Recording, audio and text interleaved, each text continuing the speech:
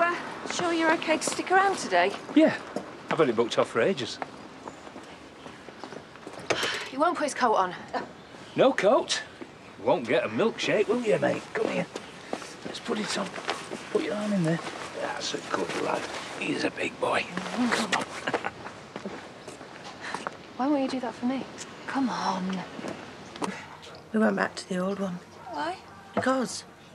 Do I question what hymns we sing on a Sunday? Bacon butties all round, please. Lucas, you're going to put the bear down and eat your fruit.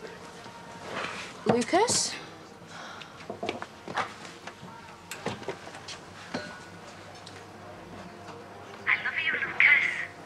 You all right? It's that stupid bear. He won't put it down. Hey, Lucas. I nearly forgot. Look what I've got for you. A lorry. And a car. Let's give Teddy to Harriet. We'll get some of that down you before you start. Good boy. How come he'll behave for everyone apart from me? He just needs to be distracted.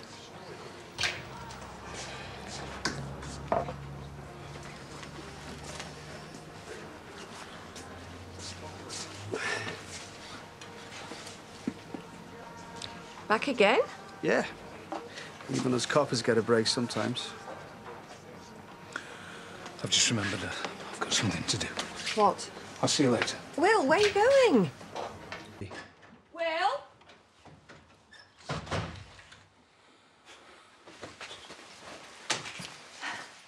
Next time you offer to take someone out for breakfast, at least try hanging around long enough to pay the bill. Sausages and ice cream? Yeah. What, together? He's good with him, isn't he? Yeah. Everyone is apart from me. I need to do more fun stuff with him. Dawn, he only came to live with you yesterday. There's plenty of time for that. Hello, mate. Oh, you after me? Uh, actually, I was looking for Billy. You didn't tell me you were working for Cain on the side. Yeah, There's only one job. Do you think that's a good idea? Now, what's the problem? You do enough for him. Yeah, I just want some cash, Dad.